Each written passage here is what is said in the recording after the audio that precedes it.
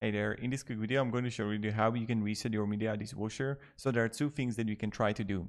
The first thing is that when you're going to turn it on and let's say you have a program started, then you just want to press and hold the start button and under the start button you should read like the cancel, uh, hold cancel for three seconds. So you just try to press and hold the the button for the start and that's how you're gonna like stop it or even you're gonna have just search for a button if you have someone like let's say a cancel three second hold or something like that. The second thing that you can try to maybe it's going to fix the issue you want to unplug it from power. Now maybe you're not going to find the cord because it's in the back near the wall.